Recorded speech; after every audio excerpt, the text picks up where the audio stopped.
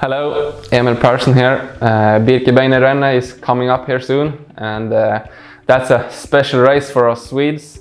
We haven't won it for like a few years now so I think it's time to, to the Swedes to, to win on the Norwegian home ground. Uh, it's the Norwegians biggest race.